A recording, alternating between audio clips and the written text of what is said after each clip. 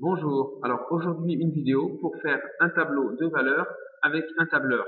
Donc je reviens avec mon tableur OpenOffice qui, je le rappelle, est gratuit sur Internet.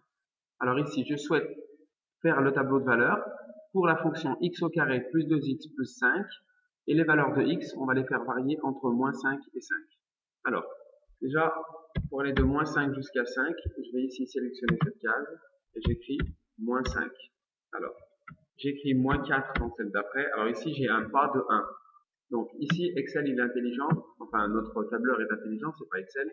Donc, qu'est-ce qu'il fait? Il, a compris ici que j'allais de 1 en 1, donc moins 5, moins 4.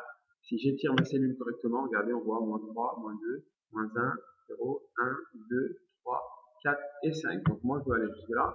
Ensuite, dans la ligne en dessous, je vais calculer l'image de moins 5 par la fonction qui est proposée ici, c'est-à-dire x au carré plus 2x plus 5. Comme c'est une formule, je le rappelle, ça doit commencer par égal. Donc, qu'est-ce que je dois faire? Je dois mettre au carré le nombre qui est ici. Donc, je clique sur ce nombre et je le mets au carré. Voilà, donc le mettre au carré, c'est le multiplier par lui-même. Donc, une fois la touche fois. Donc, je vais pas tarder à retrouver.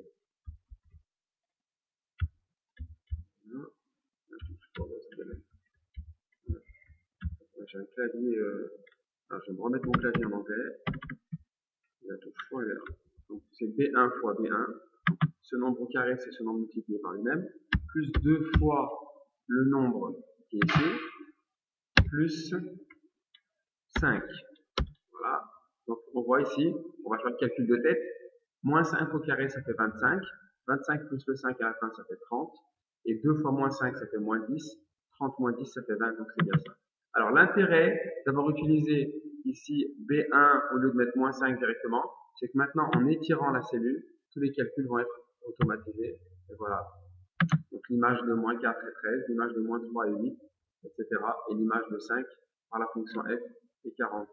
Donc voilà, donc il faut bien mettre égal et utiliser l'adressage des cellules. Voilà, je vous laisse à votre tour euh, essayer sur votre propre tableur.